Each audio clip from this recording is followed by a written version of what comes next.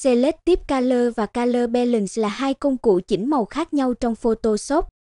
Tác dụng chính của cả hai công cụ này là điều chỉnh màu sắc của bức ảnh, tuy nhiên cách thức và phạm vi sử dụng của chúng có sự khác biệt. Selective Color là một công cụ cho phép bạn chọn một màu cụ thể và điều chỉnh độ sáng, độ tương phản và độ bảo hòa của màu đó trong ảnh. Công cụ này cho phép bạn tinh chỉnh màu sắc của từng màu cụ thể trong bức ảnh, giúp bạn có thể điều chỉnh sâu hơn so với Color Balance. Ví dụ, nếu bạn muốn làm cho màu xanh lá cây trở nên sáng hơn trong ảnh của bạn, bạn có thể sử dụng công cụ Selective Color để điều chỉnh màu xanh lá cây riêng biệt. Color Balance là một công cụ giúp điều chỉnh tổng thể màu sắc của ảnh. Nó cho phép bạn điều chỉnh sự cân bằng màu sắc giữa các màu chính, đỏ, xanh lá cây và xanh dương. Bằng cách điều chỉnh giá trị màu sắc của các màu chính này, bạn có thể thay đổi màu sắc tổng thể của ảnh.